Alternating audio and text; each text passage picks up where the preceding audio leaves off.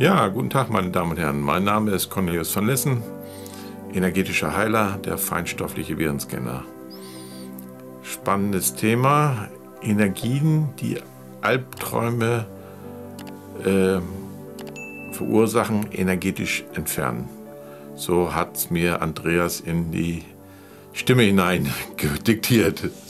Ja, wir wollen ja, und er hat es auch richtigerweise gesagt, wir, äh, all, alte Albträume wollen wir nicht herv neu hervorrufen, sondern es geht darum, dass keine neuen Albträume entstehen, Albträume entstehen und da gibt es ursächlich Energien, die das machen und die wollen wir entfernen, sodass man eine ruhige Nacht hat. Ne?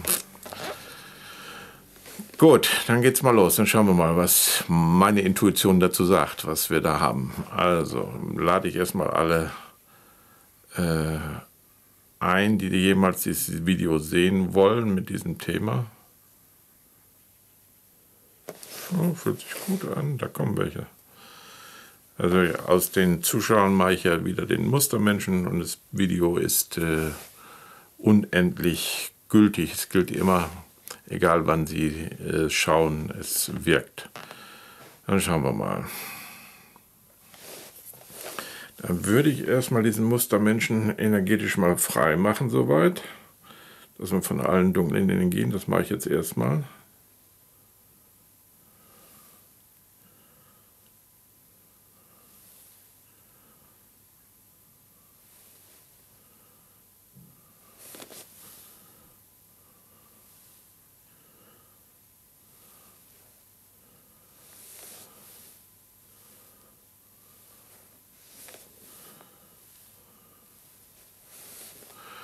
So, dann gibt es ja mehrere Varianten, warum ich Albträume bekommen kann. Die eine Variante ist irgendein äh, eigenes Erlebnis, was ich im Traum, aber dann per Albtraum, dann wird es ja äh, äh, erschreckend, äh, dass ich im Albtraum abarbeite. Das machen wir mal raus alle Ereignisse, die Albträume verursachen oder die Energie der alten Alb, äh, die Energie der Ereignisse, die Albträume verursachen, nehme ich jetzt vollständig aus allen unseren Zuschauern jetzt raus. In diesem Leben, frühen Leben, Parallelwelten, allen Dimensionen, allen Zeiten.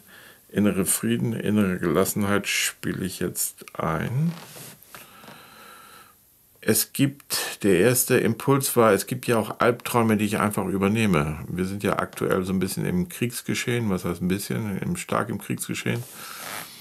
Und ich kann davon, diese Energie kann ja sogar rüberschwappen, dass ich diese Albtraumenergie habe, weil sie im Feld ist. Das meine ich aber eher weniger, sondern aber unsere Vorfahren. Einige davon waren im Krieg und die haben diese in der Genetik mitgetragen und an uns vererbt, ne? diese Albträume. Das Leben, frühes Leben, Mutter, bitte um Löschung des Karmas der Mutter, also da geht es um Albträume in allen Dimensionen, in allen Zeiten. Löschung, vollständige Löschung, bitte um Gias das gleich. Ich würde jetzt die ganze Mutterlinie, es geht immer in diese gleiche Reihe, Mutter, Großmutter, Urgroßmutter und allen Linien davor. Ich bitte um Löschung dieses Karmas der Mutterlinie bezüglich Albträume, Löschung, vollständige Löschung, bitte um Gias das gleich. Und ich bitte um Löschung des Karmas der Vaterlinie, Großvater, Urgroßvater und allen Vorfahren der männlichen Seite, äh, Löschung äh, dieses äh, Themas in allen Dimensionen, allen Zeiten, Löschung, Forschung, Löschung, bitte Gias gleich, Schulters gleich. So, Albträume. Was fehlt?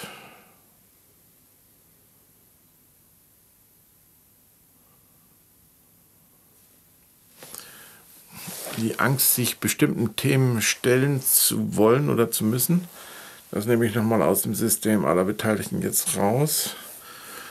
Ein Albtraum kann mich selbst kaum erinnern. Ich habe ganz wenig gehabt. Aber wenn man solche Verfolgungsträume oder sowas hat, ist ja auch ein Albtraum. In dem Traum umdrehen und sagen, ich laufe nicht weg, ich stelle mich der Gefahr. Egal was es ist. Einfach sich der Gefahr stellen.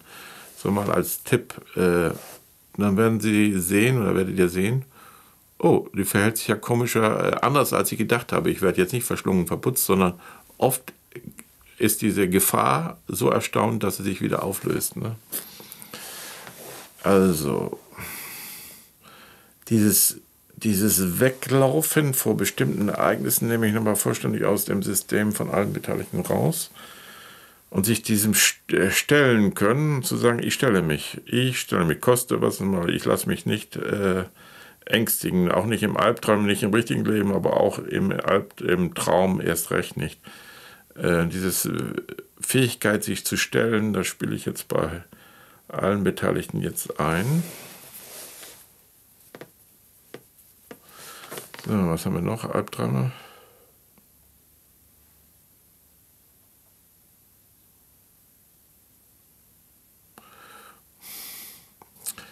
Äh, also auch wahrscheinlich so Kindheitsgeschichten, wo wir nicht gehört worden sind, in einer Not und keiner hört uns. Kommt öfters vor, so Kinder, die schreien oder Babys, die schreien und Mama hört sie nicht, können sich so albtraumhafte Geschichten entwickeln, die objektiv gesehen kleine Ursache, aber subjektiv eine große Wirkung haben. Ne? Also äh, in der Not allein gelassen zu werden, das nehme ich mal vollständig aus dem System von allen Beteiligten jetzt raus, in diesem Leben, frühen Leben, Parallelwelten, allen Dimensionen, allen Zeiten. Und wir können die Geschichte, selbst die Erinnerung können wir umschreiben, dass wir in der Erinnerung sehen, ach, Mama kommt oder ich werde gerettet oder der Retter kommt, dass wir diese in unserem Geschichte uns das selbst umschreiben und wir gerettet werden und sicher sind. Das spiele ich jetzt ein.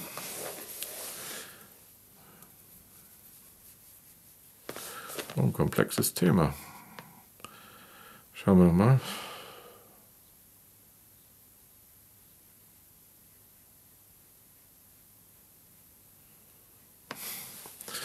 Alle Albträume, also alle Vorstellungen, wo ich gefesselt oder äh, gemartert werde, nehme ich vollständig aus dem System von allen Beteiligten jetzt raus.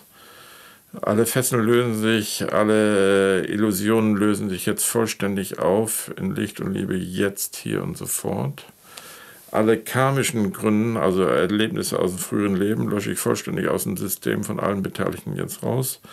Auflösung in Licht und Liebe jetzt, hier und sofort.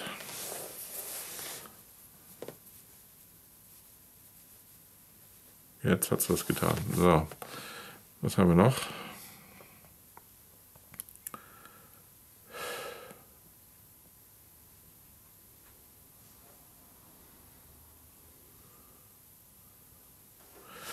Diese ständige Wiederholung von irgendwelchen Erlebnissen und die Dra Dramatisierung im Kopf, das nehme ich mal vollständig aus dem System aller Beteiligten jetzt raus und den Geschichten auch mal ein Happy End geben zu können und zu sagen, ich schreibe sie jetzt einfach im Kopf um.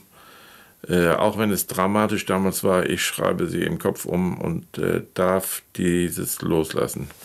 Die Fähigkeit, alte, äh, auch äh, dramatische Situationen loszulassen, das spiele ich jetzt bei allen Beteiligten jetzt ein.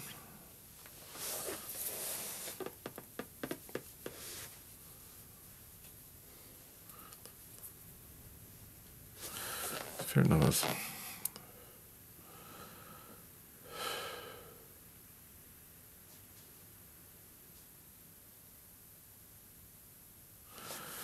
sich verirrt zu haben und nicht mehr zurückzufinden, nehme ich nochmal aus dem System von allen Beteiligten jetzt raus. Diesen Leben, früheren Leben, parallel in allen Dimensionen, allen Zeiten. Äh, den Weg wieder rauszufinden und zu wissen, ah, da muss ich lang geben, der eigenen Intuition zu trauen, das spiele ich jetzt ein.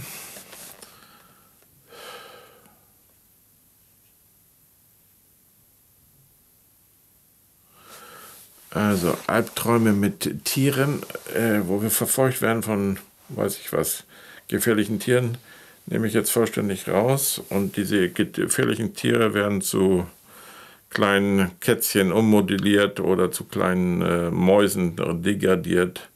Also die Fähigkeit spiele ich jetzt ein.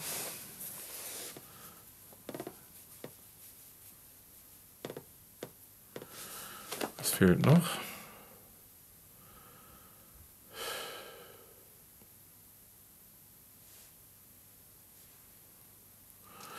Ah ja, so ein Albtraum, wo wir kurz vom Ziel sind, aber niemals das Ziel erreichen können. Also äh, wie heißt das, der damals die Kugel da hochgerollt hat im Berg und der ist immer Sisyphus? Sisyphus. Sisyphus. So ein Sisyphus-Albtraum. Wir, wir kommen immer nur kurz vom Ziel und schaffen es aber nicht. Das nehme ich jetzt auch aus dem System von allen Beteiligten jetzt raus und wir schreiben eine Geschichte um. Wir rollen tatsächlich die Kugel, in dem Falle war es mal eine Kugel, bis zum Berg hoch und sind, freuen uns, wie äh, wir das Ergebnis erzielt haben und das auch in, übersetzt in anderen Situationen, dass wir einfach das Ergebnis umschreiben und das positive Ergebnis bekommen. Das spiele ich jetzt ein.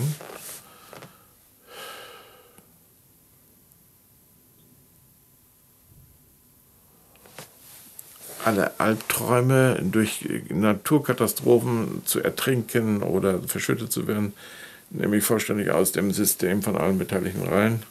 Auch da das Umschreiben, dass das Rettungsboot kommt, dass äh, das Bergungsteam uns findet und wir in Sicherheit kommen, das spiele ich jetzt bei allen Beteiligten jetzt ein.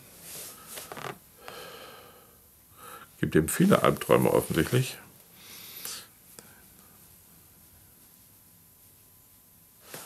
Was fehlt noch?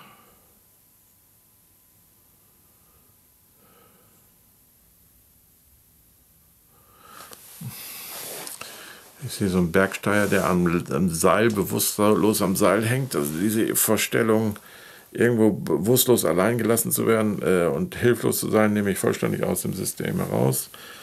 Und auch wiederum, dass die Rettung da kommt und ich die Geschichte umschreiben darf und mir selbst die Erlaubnis gebe, mein eigenes Leben zu gestalten und zu kreieren, das spiele ich jetzt ein.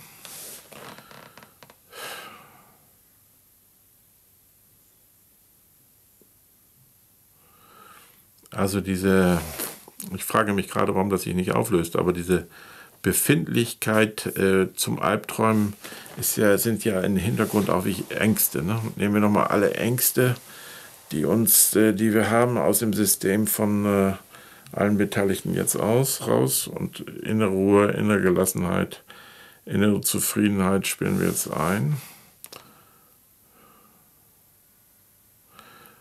Und Angst hat auch was zu tun, dass ich diese Ge Geborgenheit nicht bekomme, die ich gebraucht habe zu irgendeinem Zeitpunkt. Dann nehmen wir mal alle Erlebnisse aus unserer Kindheit, wo wir fehlende Geborgenheit hatten, nämlich aus dem System von allen Beteiligten raus. Ich spiele jetzt die Liebe rein, geliebt zu werden, geschützt zu sein, umarmt zu sein, gemocht zu sein. Das spiele ich jetzt hinein.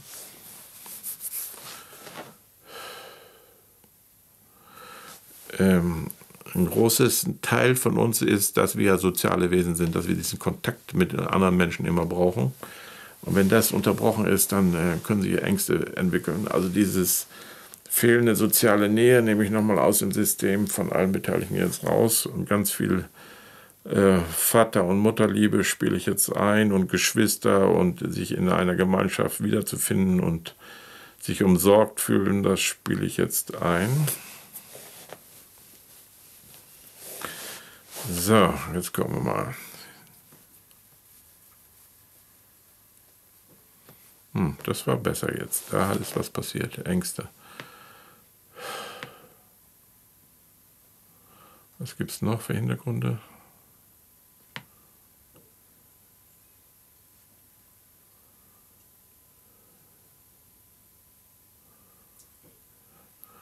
Ja, was immer wieder kommt, ist dieses Alleingelassensein. Ne? Also diese alle Momente, äh, wo wir alleingelassen sind, nehme ich nochmal aus dem System von allen Beteiligten jetzt raus. Und die Geschichte umzuschreiben, dass doch der, die Retter da sind und dass wir uns geborgen fühlen dürfen und äh, dass auch wir jemanden finden, der, mit dem wir eine Gemeinschaft teilen können oder wieder in Gemeinschaft aufgenommen werden. Das spiele ich jetzt ein. Albträume.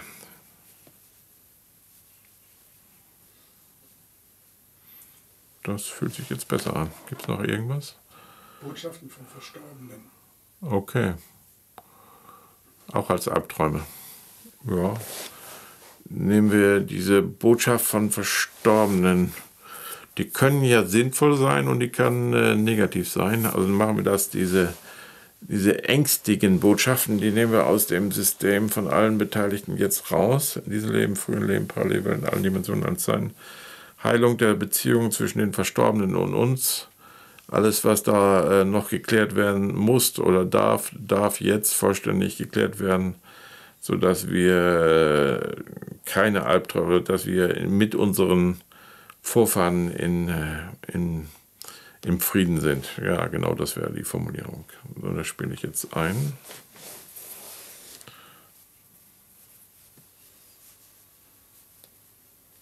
Hm, fühlt sich gut an. Fühlt sich gut an. Ich glaube, das lassen wir so stehen. Einmal schauen, habe ich noch irgendwas bekommen?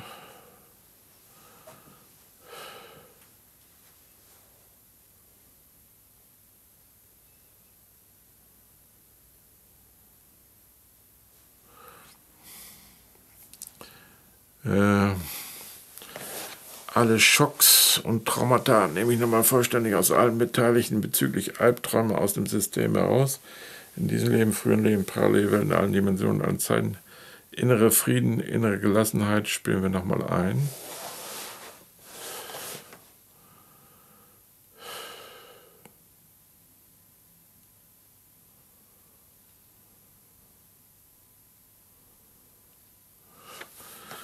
Alle habe ich schon mal gemacht, alle Momente, wo ich uns allein gelassen fühle, allein im Stich gelassen, also Herzschmerzgeschichten, nehme ich nochmal aus dem System von allen Beteiligten jetzt raus. Äh, Heilung des Herzens, Heilung des äh, Systems spiele ich nochmal ein.